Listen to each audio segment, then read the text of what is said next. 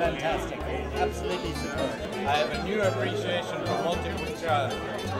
With very good.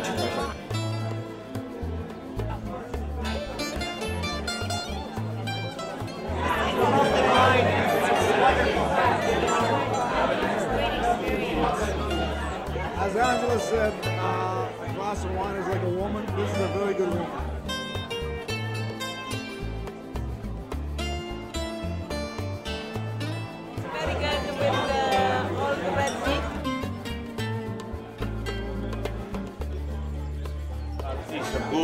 Solid, excellent wine.